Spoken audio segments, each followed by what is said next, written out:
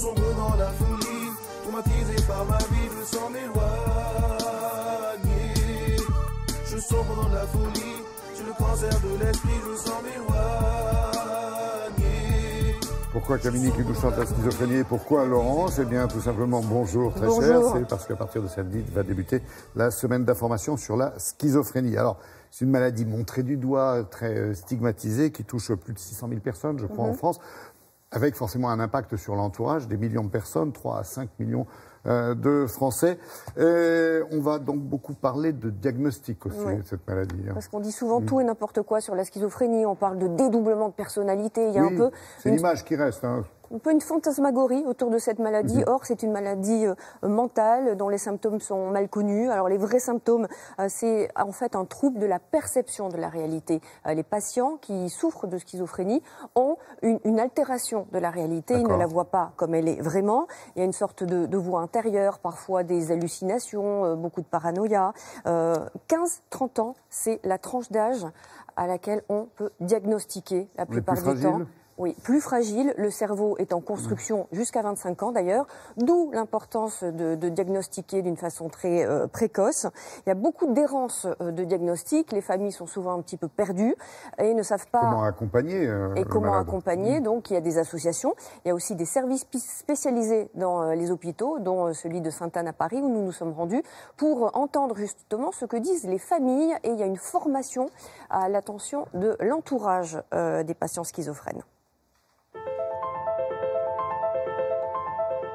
À l'époque, Charles fumait beaucoup de cannabis.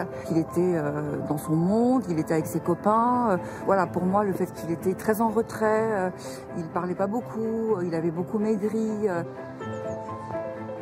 le principal facteur de risque, c'est notamment la consommation de cannabis ou d'autres psychotropes. Et puis, ça peut être aussi le stress. Et le stress, il peut avoir différentes causes. hein. Ça peut être une difficulté familiale, ça peut être des difficultés du harcèlement à l'école. Et puis apparaissent, lorsque les, choses évoluent un petit peu, apparaissent parfois des signes qui commencent à être un tout petit peu plus atypiques, entre guillemets, avec euh, l'impression de ne plus ressentir les choses de la même manière, l'impression d'avoir des idées qui font intrusion dans leurs propres pensées. Et puis, l'apparition des symptômes habituels, d'hallucinations, d'idées délirantes. euh, Tous mes épisodes euh, de schizoïdie ont, été mystiques, mais délirants. Euh, je me suis pris pour le sauveur du monde.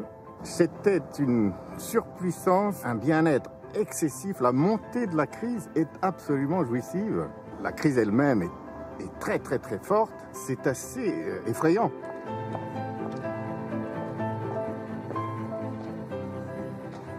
Alors, on va faire un test de connaissance que vous aviez à préparer et vous allez répondre avec les panneaux oui, non.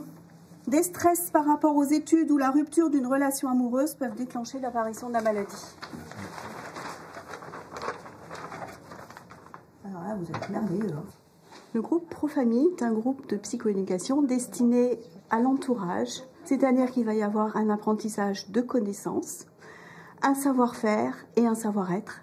C'est-à-dire qu'on va travailler sur des situations précises avec des jeux de rôle. Il ne faut tolérer aucun écart, oui ou non.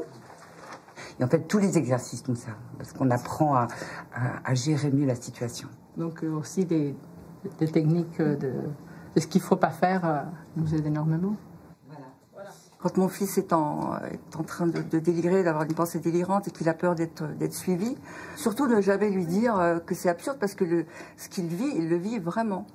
C'est des écoute réflexive. Bravo, merci Lénie.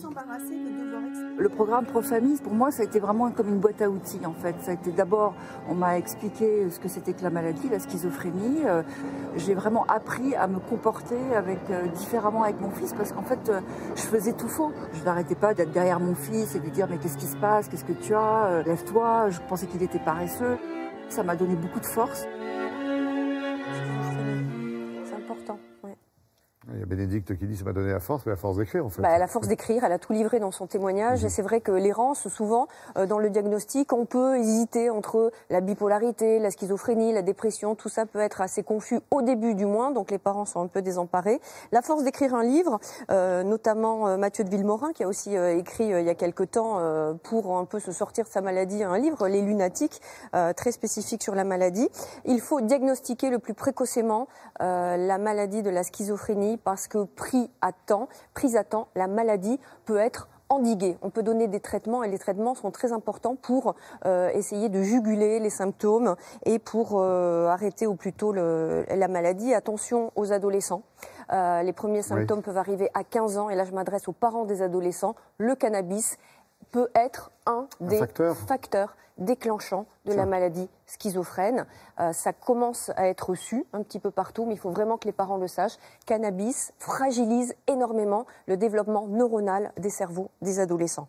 Un site internet collectif. Oui, vite, qu'on le voit. Voilà, merci beaucoup, euh, Laurent. Je ne sais pas si on a eu le temps de le voir d'ailleurs, mais bon, c'est pas façon- Ah oui, on l'a vu, on l'a vu, on l'a vu. Voilà, Ok, site d'information.